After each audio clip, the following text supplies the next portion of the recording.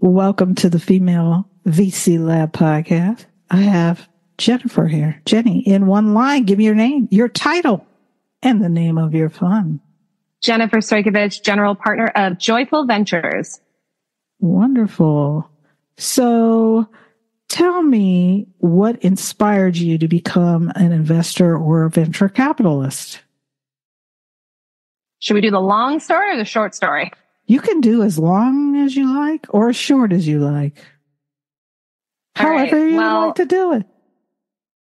As a young child growing up in Canada, I had a little show called Dragon's Den that was, yeah. So down here at Shark Tank in the US, that was my very first ever viewpoint into what a venture capitalist is. Uh, I grew up in a mm-hmm. small farm town of 2000 people. So oh, there were no VCs around. a lot yeah. of cows and farms.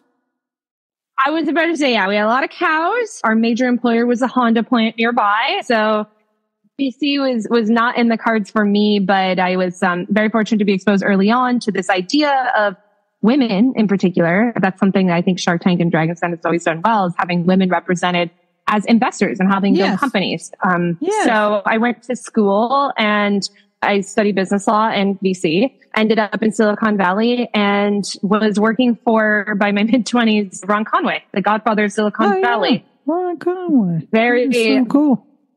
Totally happenstance. I ran his startup policy organization for about half a decade. I was very fortunate to learn about what it takes to grow startups, what kills startups in particular. And that kind of led me onto the ultimate path of starting my own fund. Wow, that's great. Thus Joyful Ventures. Awesome. So what is your investment thesis and kind of the motivation behind your thesis?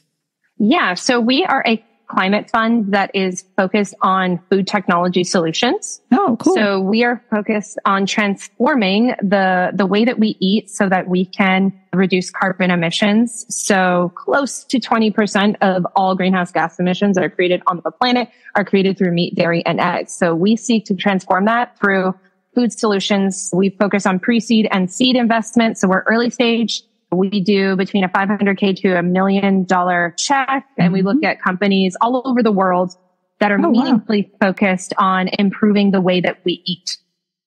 Awesome. So do you cover all food, all aspects of food, including like the growing of the food? Tell me a little bit more about the areas that you concentrate on in the food creation process. Yeah, absolutely. We do B2B, we do CPG, B2C. Uh, we're focused on what widespread food innovation looks like. So that could be uh, seed genetics, molecular farming, as you mentioned. That could also mm-hmm. be end consumer products like packaged goods at the store. Uh, a lot of B2B technologies that help improve foods. Uh, oh, okay. Biotechnology as well. We, we definitely invest oh. in uh, biotechnology solutions for the food system, like core ingredients, particularly ingredients that are very high value and very expensive currently in their in the way they're sourced. There are some really promising ways to do that through biotechnology. So we oh, really are a widespread and holistic approach to uh, replacing the key items in the supply chain and how we can move towards what we consider to be more sustainable food system. That's really interesting. Yeah, it's no, it's very interesting because I think sometimes we take food that's just there we take it for granted. If you're it's, evolving and creating a new way to produce it and have people experience it, that's not necessarily a bad thing.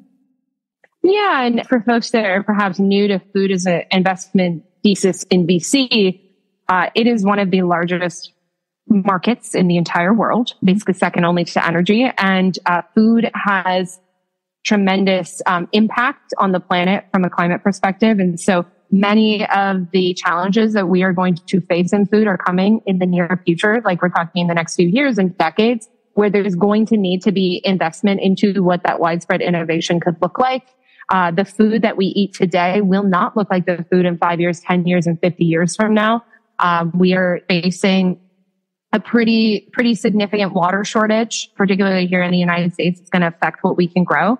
So we need to get a lot smarter a lot more innovative of how to make those same products or better products for people to be able to continue to eat the things that they love. Otherwise, they could disappear. That is so interesting. So, what are you currently learning or listening to or reading these days? Oh, that's a good question. The latest industry that I've made myself an expert in, or like the closest thing to an expert, I would say, is probably pets. I have been doing oh, yeah, it very pets deep. Is a big one. I've been doing a deep dive into pets. It's been a very fascinating endeavor for me. I think that we think about what we eat and the impact it has, but we don't really think about our cats and dogs. And in the United States, 30% of all meat that's consumed in the entire country is consumed by our pets. Wow. That's Three zero. That's yeah, a big number. It's a very big dogs number. and cats and other animals. Yeah. That are yeah, considered so, pets. Yeah. But in the US, our pets, specifically dogs and cats, eat more meat than 97% of countries on the planet. So really big. And, and does that mean a, our dogs and cats have first world problems as well? I was Sounds about like to say it. we are, yeah, we are now facing um, an unprecedented dog obesity and heart disease epidemic as a result. Yeah, it's a very interesting category. So that's the one that I think I've been learning about the most lately. In terms of reading, I've been reading a lot of Teddy Roosevelt's old speeches and The Man in the hmm. Arena and trying to read a lot about the the last time that our economy and culture was in a similar kind of spot over a 100 years ago to it is today and learning yeah. how we got through it then as a society and, and how we can take those lessons. That's wonderful. Bonus question. Everyone gets okay. it. In right. two years, when we're talking, how do you see venture capital and or investing having changed or evolved? In two years time, I would guess 70% of funds that are available or alive right now will not be alive. I'm hearing really? that 70% wiped out. Yeah. Wow. Yeah. They're saying, that's scary. They're saying that they're saying right now, and NBC reported this, about 70% are considered to be zombie funds. Why is that, do you think? A ton of new money was raised in, during the pandemic when, yes. you know, ZIRP was happening and there was like money flowing. And I think that there was a ton of unqualified VCs that raised funds.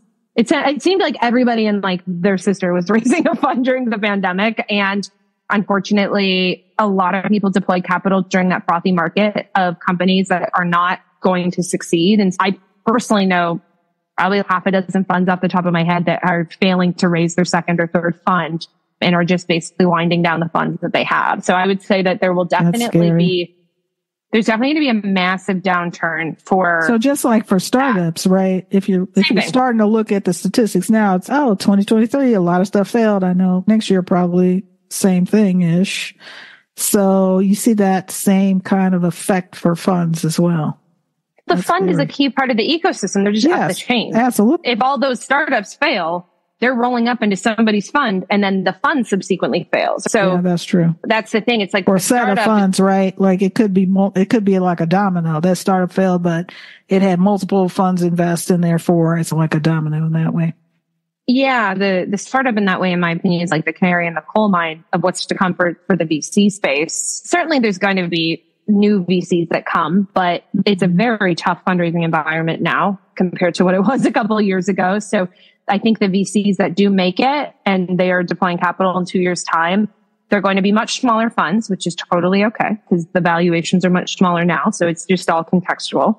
Yeah. And those that do get through it, I, the funds that I know that are raising right now, which myself I'm included, we're much, much more guarded with the capital than the funds of a couple as, years ago. As I, we should be. As we should be. Yeah. So I would say we may see deployment periods that are more, that are extended, mm-hmm. a little bit longer deployment period. Um, yes. I, I can tell you personally, Makes I'm sense. definitely, I'm taking longer to deploy than we it thought should. for sure. It should actually because things take time, right? That accelerated, yeah. that accelerated deployment period was not helping to foster any startups necessarily. So correct. Yeah. So mm-hmm. I think, you know, look good for your IRR briefly. Uh, but I don't know that. I mean, I've looked at in the last year, just over a year, I've looked at 350 deals mm-hmm. and I've cut four checks. Mm-hmm. So we're about like Makes a 1%. Sense. But that's what, that's normal. I, I think that's not, that's not unusual. Yeah. I think that is the going, I think that's what the, adage is in the industry. I don't think that's what the practical measures were these last few years. Yes, there was a lot of irrational exuberance, and that's what I irrational exuberance. Oh, yeah. But that is a very kind term. I was gonna say that's a nice way to put it, but that's what it was. yeah, exactly. So there definitely was. I'm telling, I'm tell, like, there's people that like raise money off Google Docs without even a deck. What? What? It happens. And then the correction. Yeah, exactly. Yeah, we will see. We'll see what's to come, but I would say those are some of my general predictions for how things will change in two years' time. Thanks for that. So, how do people contact you? Yeah, absolutely. If you're interested in learning more, uh, you can go to uh, my LinkedIn. It's probably my most active page. So uh, look up Jennifer Stojkovic on LinkedIn, or you can go to joyful.vc uh, to either invest or pitch in us. We are still um, taking investments, and we are a 506, so I can talk about that publicly. And well, thanks for clarifying that. Yeah, there's my little SEC note. I am allowed to say yes, that. Thank and, you for the SEC note. else yeah, would have uh, to get clipped. no, so I went. We went through the incorporation like that for a reason. Um, so sense. we, yeah, so we, yeah, we're still looking at lots and lots of deals and bringing lots of LPs in and uh, building what we believe to be a uh, much better food system. And we think that in terms of the interest in this space, we're still in early days, which is great because in yeah, 10 years so time, when this fund starts to mature, you will see how much the conversation shifts around how we innovate in the way that we eat. It is coming very quickly. I agree. So thank you for very much, Jennifer Stojkovic from Joyful Ventures for Thanks being so our guest me. on the Female VC Lab podcast.